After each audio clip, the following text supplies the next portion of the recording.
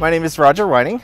I'm here at Odyssey House on behalf of Clever Octopus Creative Reuse Center. Today we are working on a couple very large murals for the outside of Odyssey House. In group last night, uh, we were just talking about something that they were looking forward to the, for the next day, and all the kids were like, we're looking forward to painting our mural.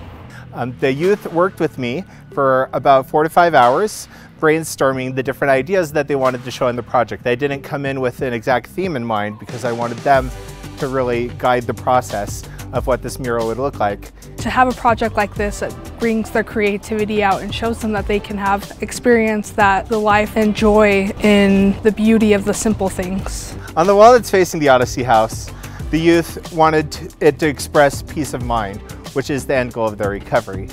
On the recovery wall, that faces the, the overall community, and that's actually used as a bit of an invitation. So on that wall, we show some of the struggles of recovery. We show a little bit of relapse, so people getting pushed back. We show the cycle of hurt and healing, and we show how those different things can lead to an eventual peace of mind, or at least you know comfort within oneself.